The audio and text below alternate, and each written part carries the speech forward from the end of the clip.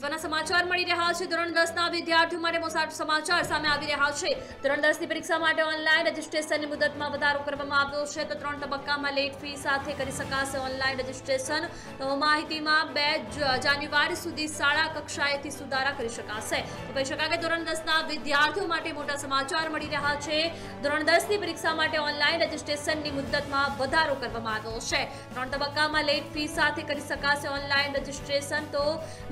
માહિતીમાં બે જાન્યુઆરી સુધી શાળા કક્ષાએથી સુધારા પણ કરી શકાશે.